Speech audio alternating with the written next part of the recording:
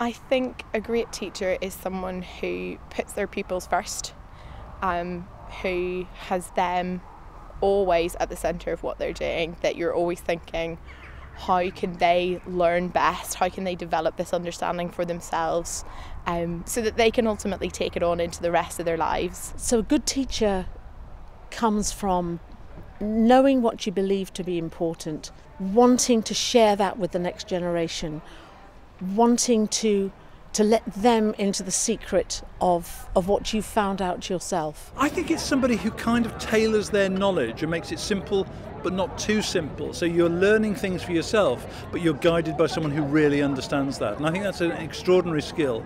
And against a backdrop when the robots are going to be able to do some of that, human beings will still be really important in the process.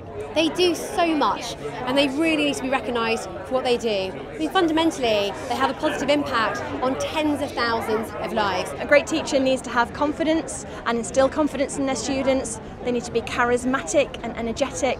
They need to be passionate and um, clued up on their subject area, but above all, they need to know students and they need to know their students inside out to be able to engage them and enthuse them about their subject area. I think the correlation between being a good teacher and a good person is pretty strong. So just be humble, take feedback, get a little bit better every day. If you're better today than you were yesterday, then you've probably had a good day. Passionate, subject knowledge, uh, firm and fair, um, great at relationships um, can hold their domain, uh, can have a bit of humour, hold kids to account when they need to, you know, get that grade A or get that homework to me in the morning. Um, a bit of compassion, humility, the ability to listen. I, I could go on. Um, teachers need all these qualities. If you believe that you want to change lives and make them better, then that's the job to do.